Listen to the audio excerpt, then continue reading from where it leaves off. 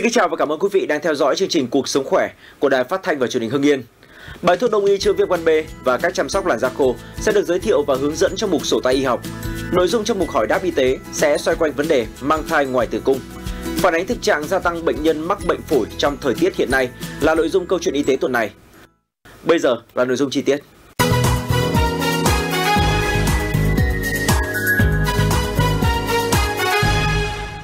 Viêm gan B theo quan niệm của y học cổ truyền là chứng bệnh hoàng đản, nguyên nhân chủ yếu gây bệnh là do thấp nhiệt, khí trệ, huyết ứ làm ảnh hưởng đến tạng can, chính là gan. Ngay sau đây, lương y Nguyễn Hùng Tuấn, hội viên Hội đồng y huyện Kim Động sẽ giới thiệu tới quý vị bài thuốc đông y điều trị hiệu quả chứng bệnh này. Hôm nay tôi sẽ giới thiệu một cái bài thuốc tức là viêm gan B, viêm gan virus để cho mọi người được biết. Thì trong bài thuốc này thì nó có 8 vị Thế cái vị thứ nhất là tôi nói là vị nhân trần. Nhân trần nó là một vị thuốc thần dược của gan. Riêng những bệnh gan thì không bao giờ mà thiếu được. Thế cái cái này là tính ngọt và tính à, hàn chủ yếu đi vào hai kinh can thận. Bài thuốc cái vị nhân trần ấy thường thường là khối lượng là thường thường là tôi bốc ở đây là 20 gram. Và cái vị thứ hai là cái vị cà gai leo là tính he và cũng tính hàn nó chủ yếu là vào trong kinh can thận. Thế và thực tế là trong cái vị cà gai neo này trong cái bài thuốc chữa viêm gan B ấy, là tôi cũng dùng 20 gram. Tại vì cái cà gai neo này đấy thì đã được những cái công trình nghiên cứu cấp nhà nước nghiên cứu là nó có tác dụng làm giảm giai đoạn sơ hóa của gan. Khổ sâm 18 gram. Bông lá đề thường thường nếu có bông lá đề thì mình phải dùng cái số lượng của nó là nhiều hơn thế còn nếu mà có hạt bông lá đề xa tiền tử, thì cái số lượng thì mình sẽ dùng ít đi. Thế bông lá đề này chủ yếu là lợi tiểu, làm mà mát gan và cũng vào. Kinh phế, kinh can. Bông lá đề 10 gram diệp hạ châu đắng hay là dân gian còn gọi là cây chó đẻ cũng 12 gram cũng vào ba kinh kinh phế và can thận. Có tác dụng lợi tiểu, mát gan, thanh nhiệt. Mộc thông thì à, thì 8 gram cái tác dụng của nó chủ yếu là nó lợi liệu và nó làm mà mát gan. Vị à, dứa dại này thì là một trong những vị nói bệnh gan thì chắc chắn không bao giờ thiếu được. Nó là một trong cái vị rất tốt về gan, thanh nhiệt, giải độc. Và vào hai kinh can thận là cũng 8 gram. Thế còn đây là mật nhân là 12 gram thì nó có tác dụng bổ can. Và chủ yếu vào ba kinh can phế thận. Ta sẽ kết hợp những cái vị thuốc này và phụ thuộc vào bệnh nhân. Từng giai đoạn một ví dụ như là cái thời gian bùng phát thì có khả năng là mình sẽ bốc thuốc cái liều lượng của nó sẽ cao lên.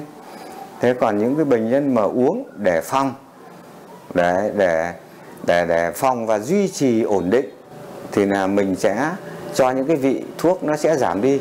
Bài thuốc này thì thực ra là những cái kiêng khem chính ấy, là cái số 1 là cái bia rượu cái thực phẩm là cái thịt chó. Rau muống và bột đậu xanh.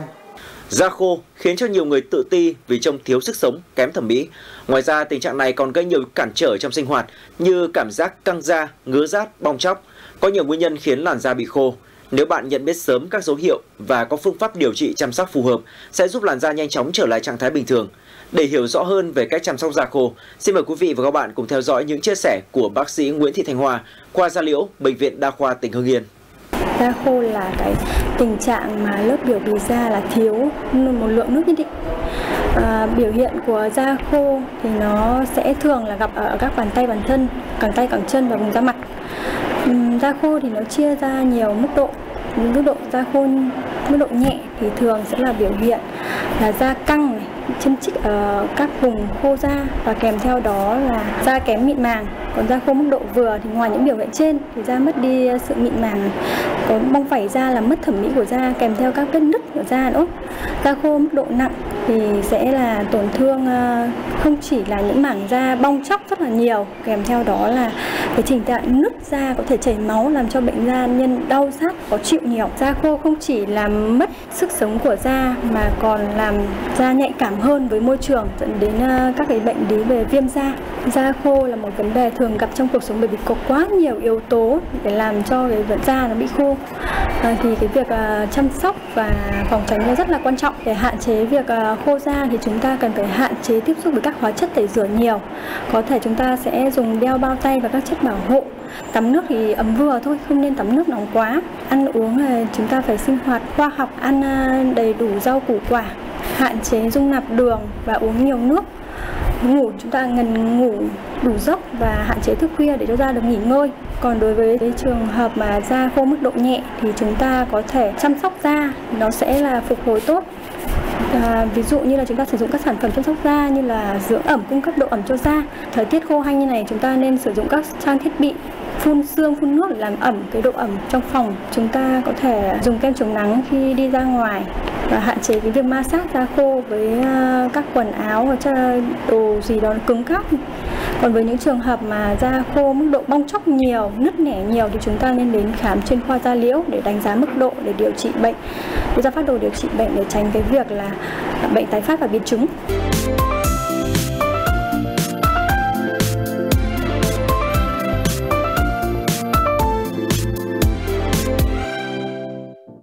Mang thai là khoảng thời gian ý nghĩa và hạnh phúc của người phụ nữ. Tuy nhiên, cũng sẽ có muôn vàn khó khăn, nhất là với các mẹ lần đầu mang thai. Một trong những mối lo lớn nhất đó chính là nguy cơ thai ngoài tử cung. Vậy những dấu hiệu nào để nhận biết người mẹ mang thai rơi vào hoàn cảnh này? Ngay sau đây, bác sĩ chuyên khoa 1 Doãn Đình Trường, khoa sản 2, bệnh viện Sản Nhi Hưng Yên sẽ giúp quý vị hiểu rõ hơn về vấn đề này. Xin chào bác sĩ ạ. Cảm ơn bác sĩ đã nhận lời mời tham gia chương trình của chúng tôi ngày hôm nay. Và câu hỏi đầu tiên à, xin được dành cho bác sĩ. Thưa bác sĩ, thai ngoài tử cung là gì ạ? Bình thường thì thai sẽ đi từ vòi trứng vào trong buồng tử cung để làm tổ trong đó. Và trong quá trình di chuyển đấy nếu có một cái yếu tố gì đó bất thường làm cho thai thai không đi qua trong buồng tử cung và thai sẽ làm tổ ở các cái cơ quan khác à, hay gặp nhất ở, ở vòi trứng ở buồng trứng hoặc ở trong ổ bụng thì với các cái trường hợp làm tổ ở vòi trứng buồng trứng ổ bụng hoặc ở cổ tử cung đấy thì đấy là các cái trường hợp thai ngoài tử cung. Vâng thưa bác sĩ vậy thì nguyên nhân nào gây ra tình trạng thai ngoài tử cung ạ? Cái nguyên nhân thì có rất là nhiều. Tuy nhiên là chúng ta có thể quy kết lại được vào một vài cái nhóm nguyên nhân nhất định. À, các nguyên nhân thứ nhất đấy là các nguyên nhân làm cho cái vòi tử cung của chúng ta nó bị à, chít hẹp à, bị uốn khúc gập góc làm cho cái cái quá trình di chuyển của uh, quả trứng nó khó khăn.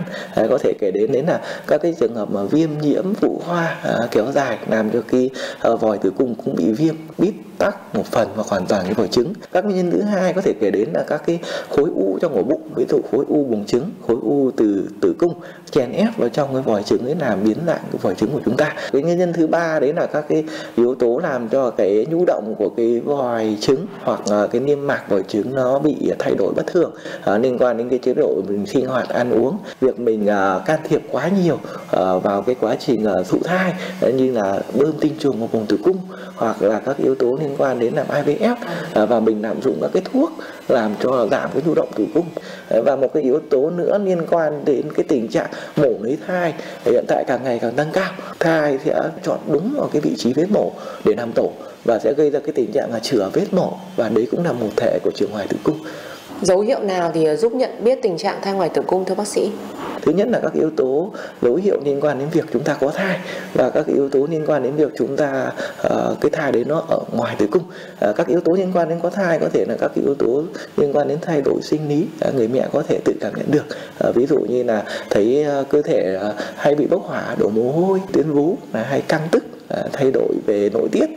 Còn các yếu tố liên quan đến nội tiết liên quan đến kinh nguyệt khi mà có thai sẽ làm cho kinh nguyệt bị thay đổi và có thể làm chúng ta bị chậm kinh hoặc là rối loạn kinh nguyệt. Cái, cái yếu tố liên quan đến thai nó nằm ngoài tử cung thì nó sẽ gây được tình trạng điển hình nhất đấy là đau bụng đau tức bụng. À, với trường hợp bình thường thì có thể các cái bạn à, nữ sẽ có cái tình trạng như là thống kinh. Đấy, cũng có tình trạng là đau bụng trước trong hoặc sau kinh Đấy, tuy nhiên là à, với cái trường hợp sửa ngoài tử cung thì cái triệu chứng đau nó sẽ khác. À, bình thường chúng ta sẽ đau ở chủ yếu là ở cái tử cung gây đau ở vị trí giữa. À, còn ở trường ngoài tử cung thì thường sẽ đau lan à, ở lệch sang bên trái hoặc bên phải. Và cái tình trạng đau thì càng ngày nó càng tăng lên à, tăng lên hàng ngày. À, và à, các yếu tố liên quan nữa đến là à, có thể là mình sẽ nhận biết được cái à, tử cung của mình nó to hơn so với bình thường. Cái đấy thì thường là chúng ta lại khó cảm nhận hơn và bác sĩ sẽ là người cảm nhận được rõ hơn. Thưa bác sĩ, thai ngoài tử cung thì sẽ gây ra những biến chứng nguy hiểm như thế nào ạ? Với một cái trường hợp bình thường, tử cung là cái cơ quan sinh ra để chứa thai và cho thai phát triển, nên là tử cung có tất cả các yếu tố thuận lợi để cho thai phát triển. Còn những cái cơ quan khác sẽ không đảm bảo được các yếu tố đó. Và khi đó thai làm tổ và phát triển ở cái vị trí ngoài tử cung, nó sẽ bị giới hạn về tất cả các cái mặt à, thứ nhất là về uh, cung cấp chất dinh dưỡng nó sẽ ít hơn thai sẽ khó phát triển có thể là sẽ gây niu hoặc là đến một độ tuổi nhất định thì thai sẽ có xu hướng là thoái triển và gây sảy gây chảy máu cho mình người mẹ. Đấy, hoặc là ở cái không gian đấy nó không đủ to ví dụ như là buồng tử cung của người mẹ bình thường nó cũng to bằng cái chén. À, khi mà có thai thì do nội tiết kích thích cái tử cung của chúng ta sẽ to lên rất là lớn à, còn cái vòi trứng thì nó sẽ không có cái khả năng đó. À, khi mà thai phát triển đến một cái độ tuổi nhất định nó sẽ làm cho cái vòi trứng của chúng ta căng tức vỡ và gây chảy máu ồ ạt nguy hiểm đến tính mạng của người mẹ Thưa bác sĩ, đối tượng nào thì có nguy cơ cao mắc thai ngoài tử cung ạ? Tất cả các phụ nữ trong độ tuổi sinh đẻ có hoạt động tình dục đều có nguy cơ trưởng ngoài tử cung.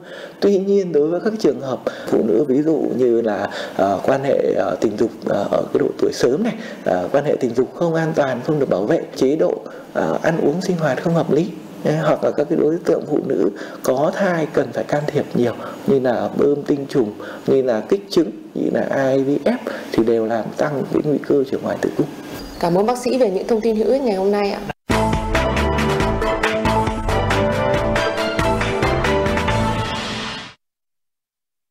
Cứ đến thời điểm giao mùa, số lượng bệnh nhân đến khám và phải nhập viện điều trị các bệnh lý về phổi tại bệnh viện Phổi Hưng Yên lại gia tăng nhanh chóng. Ghi nhận của nhóm phóng viên chương trình sẽ cho quý vị và các bạn lời khuyên để phòng tránh được các bệnh về phổi trong thời tiết hiện tại. Hiện khoa phổi của bệnh viện đang tiếp nhận và điều trị cho hơn 40 bệnh nhân, chiếm 96,7% và tăng 30% so với thời điểm trước giao mùa. Các bệnh nhân nhập viện đa phần trên 40 tuổi có tiền sử hút thuốc lá, thuốc lào hoặc nghề nghiệp có tiếp xúc với khói bụi ô nhiễm. Bệnh nhân chủ yếu mắc các bệnh viêm phổi, viêm phế quản, phổi tắc nghẽn mãn tính, thường nhập viện trong tình trạng ho liên tục, khạc đờm, khó thở tăng theo thời gian. Ông Nguyễn Văn Hán, 65 tuổi, nhưng đã có gần 30 năm sống chung với căn bệnh phổi tắc nghẽn mãn tính. Tôi rất thế là bệnh hô hấp là tôi là cái bệnh nghề nghiệp tầm ba bốn mươi năm nay rồi. Thế tôi nằm than mà. Thế là nó ho thì là tắc nghẽn khó thở. Tôi thì vào cái viện thế là lần thứ năm rồi. Cứ đợt nào vào khỏi xong về một thời gian thì lại tái phát. Và sau lại vào chữa.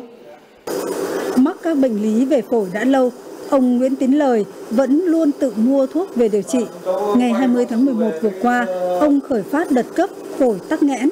Chủ quan, ông không nhập viện điều trị mà tự mua thuốc uống gây suy hô hấp, đe dọa tính mạng. Thế là bị từ 2008 đến bây giờ thì từ 2009 là hầu như là xuống đây là nhiều. Có lần có năm là xuống đến 3 lần, có năm 4 lần. Cứ giao mùa là tôi đau thì tôi cứ phải ra hiệu thuốc tôi mua. Vào thời điểm giao mùa, thời tiết thay đổi đột ngột từ nóng sang lạnh hoặc ngược lại, người bệnh rất dễ nhiễm virus hay vi khuẩn gây viêm phổi, viêm đường hô hấp trên và sẽ là yếu tố gây khởi phát đợt cấp của bệnh phổi tắc nghẽn mãn tính. Bệnh nhân là chủ quan khi mà bị mắc bệnh à, mãn tính lâu ngày rồi là khi chúng ta cảm thấy là à, ho hoặc là tức ngực hoặc là khó thở uh, nhẹ thì chúng ta có thể là lại tự ra ý ra quầy thuốc mua thuốc về tự xịt tự uống thế nhưng mà không phải là mỗi một đợt đều dùng thuốc như nhau cả vì thuốc này nó phụ thuộc vào cái tình trạng của bệnh nhân, đấy, và cái độ đáp ứng của bệnh nhân. Tôi khuyến cáo khi gặp các triệu chứng đau tức ngực, khó thở này, ho, đầm đục thì chúng ta lên đi đến cơ sở y tế gần nhất để khám và điều trị. Không tự ý mua thuốc ở quầy thuốc. Khi gặp thời tiết giao mùa thì là khi chúng ta, trước khi dậy thì chưa lên ra khỏi phòng ngay. Chúng ta sẽ mở cửa để cho cái nhiệt độ ngoài và nhiệt độ bên ờ, trong phòng thì ờ, nó ổn định. Chế độ dinh dưỡng thì chúng ta sẽ phải là ăn nhiều hoa quả uống nước ấm, tránh các cái khói bụi. Hơi thở là cuộc sống, hãy hành động sớm hơn là chủ đề của ngày thế giới phòng chống bệnh phổi tắc nghẽn mãn tính năm 2023 chủ đề năm nay nhằm nhấn mạnh tầm quan trọng của chăm sóc, chuẩn đoán và can thiệp sớm các bệnh lý ở phổi. Mỗi cá nhân nên duy trì lối sống lành mạnh, chủ động phòng chống bệnh phổi, đặc biệt trong thời điểm giao mùa để bảo vệ sức khỏe. Những hình vừa rồi đã khép lại chương trình Cuộc sống khỏe số này của Đài Phát thanh và Truyền hình Hưng Yên. Cảm ơn quý vị và các bạn đã quan tâm theo dõi. Kính chào tạm biệt và hẹn gặp lại.